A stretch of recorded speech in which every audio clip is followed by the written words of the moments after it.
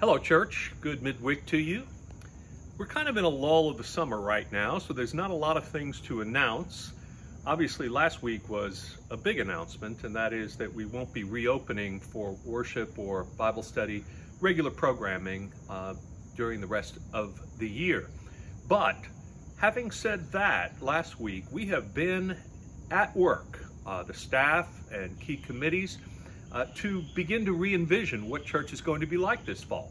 The first announcement I have to you uh, to make today is that we have decided that we're going to go ahead on August 23rd with Promotion Sunday.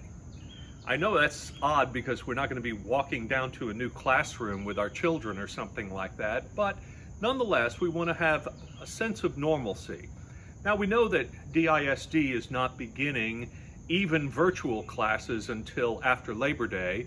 Other school districts are, however, starting uh, that week. And so uh, we're going to start our fall uh, Sunday school program on uh, August 23rd. For adults, that probably won't mean very much, but maybe it's a chance for you to try a new Sunday school class if that's something you want to do via Zoom. We have uh, lots of opportunities for Sunday schools to continue to meet, and they are doing so. I know that Lee Curl is teaching uh, the Bible study lesson on Facebook Live this week, uh, and that's always at 10:15 Facebook Live. Uh, but we're also going to be talking about different ways that we can actually meet and do new things this fall. Uh, we got a suggestion from one of our deacons, Steve Connor, about uh, how we might start our worship time on Sunday morning with the early service instead of just the late service. And so on August 23rd, uh, we're going to put our YouTube worship at 8.30 so that you'll be able to see it then. And we're looking into ways that we can keep the chat going, maybe on Facebook for the rest of the day or at 11, something like that. There's a lot of things to work out, but we would be open to your suggestions. You can send them to me at pastor at wilshirebc.org. In addition, we're looking for ways to keep our kitchen crew working possibly with some meals that can be picked up uh, this fall. And so uh, be thinking about that and praying for that. We're, we're considering some uh, worship events in the parking lot. Maybe resident led Vespers, say, for instance, once a month uh, as the weather gets a little better, uh, cooler. So there are other things that we're talking about doing, and we would encourage your prayers.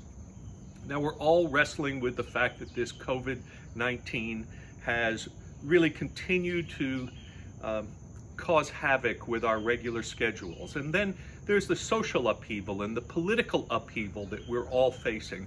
But facing is, is an important word. James Baldwin, the great uh, essayist and, and writer and thinker uh, about uh, the black experience in America, would have turned 96 years old this week. And he said this not everything that is faced can be changed, but nothing can change until it is faced. We're facing our responsibilities as a church, and I think we're receiving the power of the Spirit of God to find ways of being community together. Thank you for staying connected with us, for praying for us, for continuing to be church together. We'll see you soon.